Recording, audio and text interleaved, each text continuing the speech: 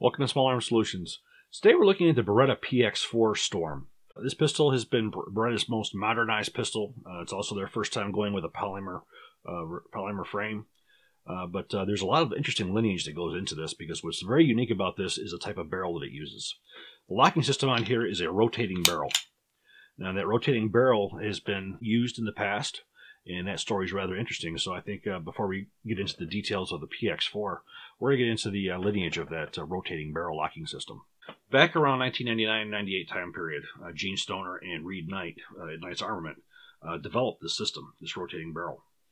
And Knights at the time was not really interested in manufacturing pistols, so they got with Colt Defense, or Colt. Well, at that time it was probably Colt's Colt Industries and Colt was to produce that. And if you've ever heard of the Colt Model 2000 All American, that was the first pistol that was man- it was manufactured utilizing this system. Now, that was Colt's first attempt in many, many years at making a pistol that was designed for use by law enforcement. Because prior to that, you know, all Colt had was 1911s, and 1911s are not viable law enforcement weapons. They have not been for a really, really long time at least uh, prior to 1985, prior to the adoption of the M9, when you had your first, you know, if you want to call them Wonder Nines. Uh, the All American was made a couple different ways. You had a polymer frame, uh, which was their first time ever messing with a polymer frame pistol, uh, and they also had a uh, you know a steel frame, aluminum frame. Well, it didn't go too well because uh, once Colt lawyers got involved with it, the trigger turned out to be that of a staple gun.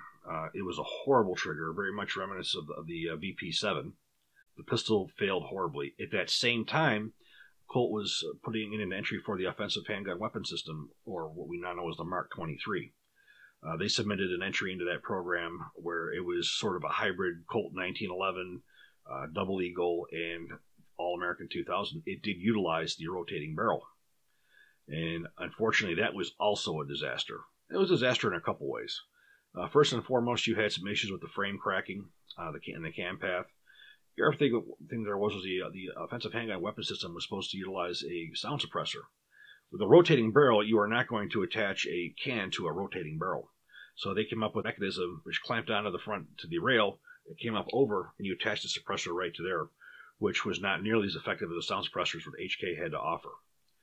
So, unfortunately, both attempts that Colt made at utilizing this system, which is an excellent system, you know, failed miserably. One of the byproducts of this failure by Colt was Colt could not pay Reed Knight and Gene Stoner uh, for the obligation that they had. So Reed Knight was able to go into Colt's vault and, for pennies on a dollar, get all of Colt's archive guns, which is what you see in Reed's museum at this point. So that was how Reed Knight got all of those guns in his museum, all those old Colt guns. Uh, that was what was used to pay for the well the failure of the uh, rotating barrel program. So now we're going to skip forward a little bit. In 1999, a new pistol appeared from Beretta. It was called the Beretta Cougar. And what this was was a pistol that was designed to be smaller, which did utilize a rotating barrel mechanism. Uh, the gun was designed to have, be a, a, smaller, more compact version that would be an alternative to the 92-96 series pistol. Now, the interesting thing was is Beretta was able to get that system to work and work well. Uh, one of the really nice benefits of having that system is because it's rotating and coming back at you and it's not dropping down, when you have your recoil, you don't get as much of this. You get more of this. Much so like the 92 series because you have the, you know, dropping locking block, which also gives you more of a push than a snap, which made the recoil of this type of a pistol very, very, very nice. Now, the Colt 8000 was offered in 940, 45, uh, 37 SIG. It was offered in all, all the different calibers. And the way the slide was on it, it was very similar to that of the 92 series, where it had the same features for as far as the safety was concerned. You had the F, which was the double single decock. You had the G, which was the decock only. And then you also had the, the, the double action only with no safety. So you were able to have all those different configurations as well uh, in, the, in the 8000 Cougar. Now there was two other calibers that the, the Cougar was offered and available for European customers, and that was the 41 Action Express and the 9x21. Uh, those are never available here in the United States. The 8000 did have a aluminum frame similar to that of the 92 series, and it also had a, a rail on the front as well for attaching a flashlight. There was a law enforcement following for the 8000 Cougar. In fact, where I come from in Rochester, New York, uh, our police department there, Rochester Police Department, switched from the 92 series, which they had had for a very long time. They were one of the first police departments in the country to get the 92 series. They switched over to 45. uh, and they went with the, the Beretta Cougar 45. Oddly enough, the pistol that they really wanted was the HK45 USP. Uh, unfortunately, the cost was so high that it was just not going to happen. Uh, so the, the, guys at the firearms training unit uh, they decided to go with the Cougar, which was not a bad idea because for a couple of reasons. One, it had the exact same safety as the 92 series, so you had your guys who were already familiar with the 92 series. They were used to the way the the pistol decocked. They were used to the controls on it. And Rochester was really not going to put a lot of money into the transitional training for the pistols that would be necessary for a whole new system, anyways. So it definitely had a lot to do with speeding up transitional training. It was an easy switch over uh, to the gun. Gun served rather well. Uh, some of the issues that they had with it were magazines that were, that were rusting. Um, you know, it was it was not as durable of a gun as some of the more you know the, you know the Glocks and so forth. Beretta had eventually gone on to discontinue uh, the the Cougar series with the adoption of the PX4, but the gun never went out of production. It was done by a sister company uh, called Stoeger Arms. Well, we go back to the Rochester Police Department. Uh, they were starting to look around the 2006 2007 time period to replace the aging uh, Cougars. Uh, there was two pistols that were being looked at. One was the new Beretta PX4, and one was the Smith & Wesson M&P. Well, there was a couple different camps that were involved in it. You had one guy, the firearms training unit, who really liked the Beretta, and one guy who really liked this, the M&P. Now, there was an issue that was previous as well. It was transitional training.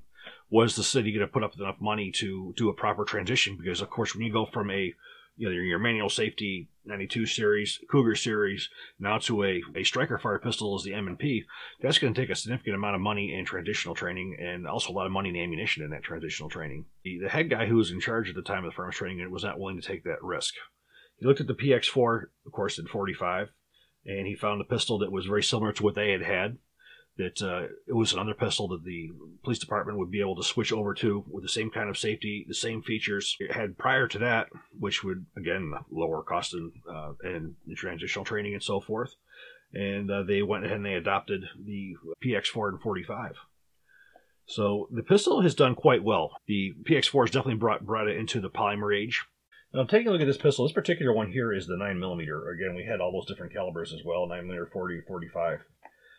First thing we're going to take a look at is uh, some of the frame. Again, we have a polymer frame, and we have a rounded trigger guard. Now that rounded trigger guard uh, is a little bit easier for carrying concealed, doesn't snag nearly as much. We do have a much easier method of disassembly, which we're going to show you in a little bit, uh, but we'll go over that. This is ambidextrous. Now, like the 92-96 series, as we said, we have a direct barrel-to-chamber feed. Now, one of the things that made the Beretta 92 series as reliable as it was was you had a direct feed right from the from the barrel right into the chamber. There was no ramp that was needed. That was the same thing here. So you basically eliminate any kind of a feed jam. Um, I've got a lot of rounds, uh, especially to the 45 version, and I have never had a failure to feed with it, even with uh, some of the more uh, nasty hollow points that have more of a truncated uh, design to them. And another aspect that you have by having the direct chamber to feed is you're able to have a fully supported chamber, which many automatic pistols do not have because of the ramp which is also makes it more reliable and more durable, especially with higher pressure loads. The rifling is a 6R rifling. Now this goes very well with the type of operating mechanism that we have. Like any Beretta, you would have you have a chrome lined uh, barrel, which is something that Beretta has put on all of their guns. Uh, it's, it's, a military standard, but it's also a, a reliability enhancement. Now, what's important about this is the way the barrel rotates. When the barrel rotates on this, the torque uh, goes counterclockwise uh, which is harnessed by the locking system to reduce the amount of pressure uh, needed to unlock the system. So it's utilizing some of that torque to unlock the system, which also aids in your in your lower recoil uh, than you have on a lot of pistols as well. Uh, it's, it's, a very nice feeling when a pistol fires uh, due to that. Now the ease of disassembly. We're going to show you how this thing disassembles. It's very very simple. It's much more simple even than the 9296 series. Of course, you're making sure this is empty. We're going to remove the magazine. Now the magazine is 17 rounds, so you have uh, you know 17 rounds as opposed to the 15 rounds with the uh, 92 series. So we you're making sure that it's empty. Now there's a little T handle. It's located on both sides. We're going to pull that down, and we're going to slide the, the slide right off the frame. We pull rearward, and what we have here is the locking block, which has a post. And the barrel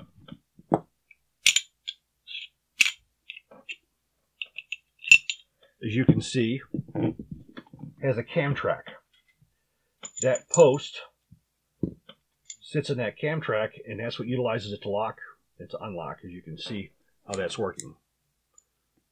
So we have lock, we have unlock. As you can see, when we go into the uh, unlock position, you can see that the, the bottom cha chamber there, there's no ramp, and it uh, is fully supported. You can actually visually, visually see that. You have a captive recoil spring. Now, when you look at the slide, the slide comes apart very much uh, identical to that of a 92 series. And of course, you have the very important firing pin safety in there, uh, which prevents it from discharging unless the trigger is pulled all the way to the rear. And the safety works the same way as you uh, engage the safety. The firing pin is covered, not only physically covered, but it's also locked into place. This particular one happens to be an F series, where you have the uh, the decock double single action. And looking at the frame here, you'll see the polymer frame, very, very durable. And the whole trigger mechanism back here comes out as a module, uh, similar to that of the, the Tokarev pistol. But we have here the uh, the decocker, we have the ejector, and we also have here the lever that's used for the firing pin safety. As you can see, very, very simple. So we do have a removable mod modular backstrap for reassembly. The locking mechanism block here is also idiot proof. You can only insert it one way, small hole in the front, large in the bottom, so you insert. So what we're going to do is we're going to drop the barrel in place. We're going to put it into the lock position, as you can see.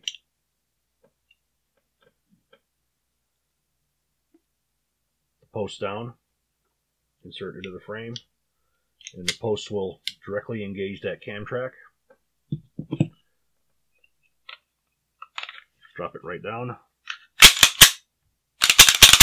There you go. We're going to do a quick demonstration of how the safety works on this. Again, we have a, the decock with the manual safety engaged. The, the hammer can't move. We flip up. Our first shot is the long drawn double action pull.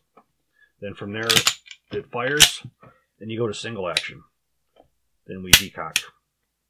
So we have ambidextrous for as far as the safety is concerned. The magazine release is also reversible to the other side. The only thing that you don't have ambidextrous is your uh, your slide release. But if you're trained to slingshot, it doesn't make much of a difference. Another difference that you're going to see on here, and this actually came from the Rochester Police Department. I can give you a story on that. If you look at the safety on here, you'll see how that bevels out. When uh, the Rochester Police Department first looked at the PX4 and 45, they did not like the fact that the safety was so narrow. Uh, they had a hard time gripping it with their hands, especially with gloves.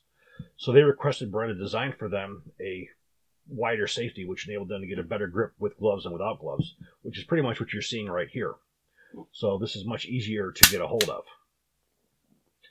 So when you do have to slingshot it, it doesn't doesn't engage like the 92 series does. Looking at the sights, you have a three dot sight system.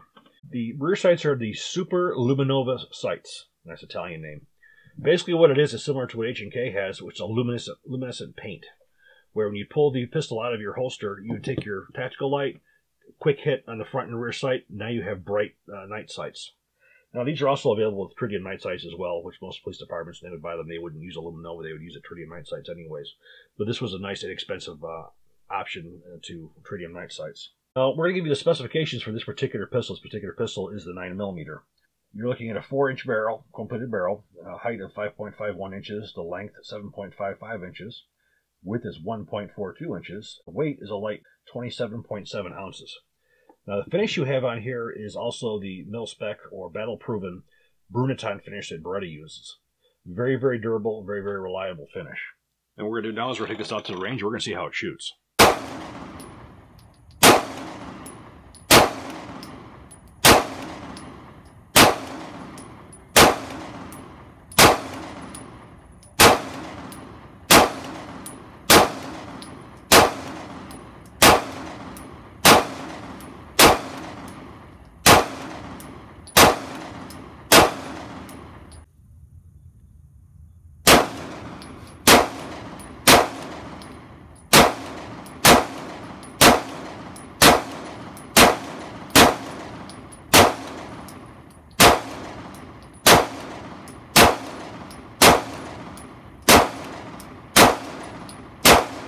Uh, very, very impressed with the PX4 9mm. Again, I got a lot of trigger time on the 45.